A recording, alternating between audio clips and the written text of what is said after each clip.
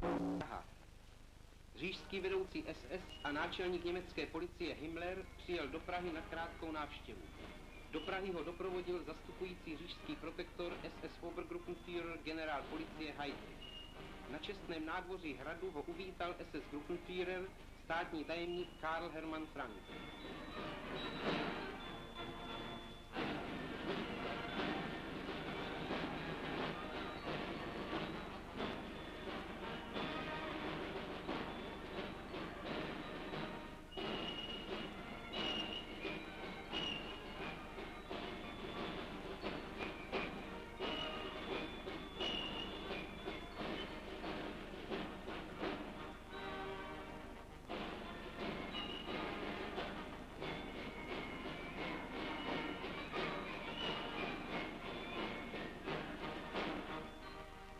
Přehlídce čestné setniny prohlédl si řížský vedoucí SS se svým průvodem Pražský hrad.